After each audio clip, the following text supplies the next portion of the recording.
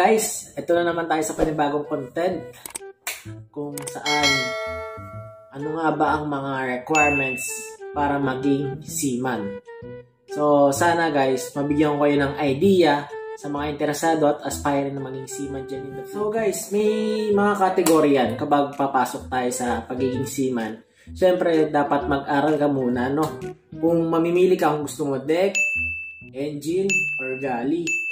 So, sa deck naman, syempre, pupunta ka sa Maritime School para mag-aral ng BSMT or BS Marine Transportation. Then, sa engine naman, kung gusto mo sa engine, BS Marine Engineering. Yon. Then, kung gali ka naman, kahit namang anong course mo sa, kahit anong course mo, pwede ka namang maggali. Example, HRM ka, computer science. As long as kukuha ka ng NC2 sa TESDA. As, yung NC2 kasi pang ano yung pang messman. Then yung NC3 pang chief cook. Yon. So, ayun nga guys, kapag DSMT, syempre, yun yung pwedeng maging kapitan, official. Kung, syempre, ang una mo, mag-aaral ka, 3 years academic requirements, then 1 year apprenticeship. Then, ganun din sa BS MARI, 3 years, then 1 year apprenticeship. Siyempre, kailangan mo ng Siemens book. So, bago ka makakuha ng Siemens book, kailangan mo munang kumuha ng basic training sa mga training center. Mga 5 days ata yun, guys. Tapos, siguro after noon 5 days, kailangan mo siyang pa COP sa Marina. Certificate of Proficiency sa Marina. Yon. After mo mapa COP yon, pwede ka nang kumuha ng Siemens book sa Marina. Then, after nun, syempre, depende kasi sa mga barkong papasok, klaseng barkong papasukan nyo yung mga training na kukuhanin nyo. Kumara, example sa akin, sa bulk carrier ako.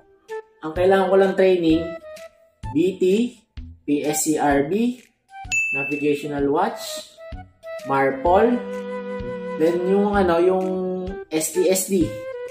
Yon. Tapos yung Mar, uh, PSCRB, STSD, tsaka BT, yun, pina, ano, pina, COP ko yun.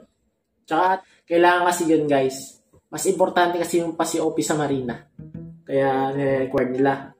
Then, guys, huwag nyo kakalimutan nga pala. Siyempre, international. Kailangan natin ng passport. Yun. Number one yan, passport. So, ayun, guys, yung mga basic requirements. Kasi kapag sa bulk carrier. Kasi kapag kuha rin mag-cruise ship ka, kukuha ka pa ng crowd and crisis management kasi nga yun ang kailangan sa cruise ship. Or example sa tanker, yung dati general tanker familiarization, kung hindi ako nagkakamali, ganun. Iba-iba yung mga halo, may madadagdag kasi iba yung barkong sasakyan mo, yung uh, classification niya. Kaya nadadagdagan at dumadami yung mga training. So, sana guys, 19, nagka-idea kayo kung ano yung mga basic requirements na kailangan bago magbarko. And guys, yung mga katanungan, di ba? May mga tatanong, paano kung hindi ako nakagraduate ng high school? Wala, paano kung no experience ako? Paano kung may tattoo ako sa katawan? Paano kung walang backer? Paano kung overage? So guys, eto, sasagutin natin yung mga katanungan. So, ayun na nga guys, yung mga katanungan ng mga kababayan natin karaniwan kung paano kung high school graduate lang daw sila. Pwede po yan, pwede pong magbarko kahit high school graduate lang po kayo. Kaso nga lang po, ang ano lang po, for ratings lang po yung ma-avail yung position or rank. Example po, uh, gusto niyo sa kusina, magme-messman po kayo. Then after messman, pwede na kayo mag-chief cook. Ganun po. Pero hindi agad na isang messman chief cook agad. May proseso yan. Depende po sa dedikasyon niyo sa trabaho at pagsisipag. Ganun po guys.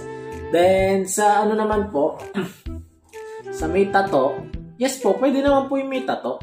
May agency lang talaga na hindi tumatanggap ng may tato. Pero halos karamihan naman ng agency natanggap din kahit may tato. Lalo na tapos po guys, yung no experience, then walang backer. Siyempre guys, alam, alam nyo naman na ang Pilipinas ang almost lahat ng seafarer sa buong mundo, Pilipino. Siguro majority mga Pilipino ang seafarer sa buong mundo kasi nga in demand tayo mga Pilipino.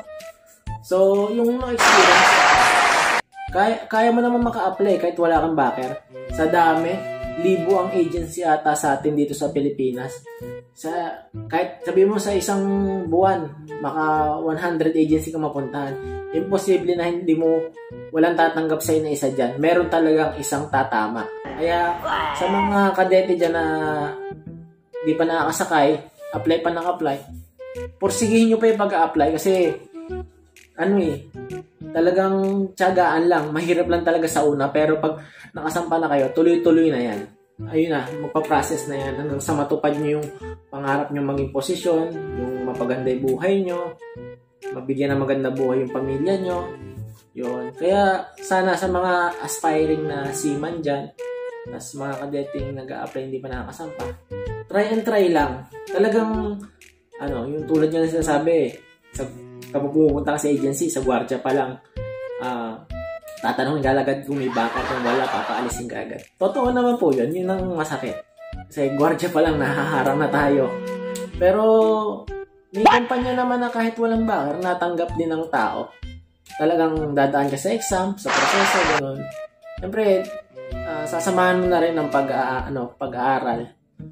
Para kapag nagpa-exam yung kumpanya, may masasagot. Ganon. So, sa mga aspiring seaman dyan, huwag tayo mawawalan ng pag-asa kabaro at tsak makakasampa kayo balang araw. So, ayun po guys. Sana, ano, nagka-idea na kayo sa mga requirements kung paano maging seaman. Tsaka yung mga katanungan nyo na nagbabother sa inyo, kung may tattoo ba kayo or high school graduate lang kayo or wala experience, sana nasgood ko. Pero kung may ibang katanungan pa kayo about sa pagsisiman, just comment down below guys, okay? Thank you and see you in my next vlog.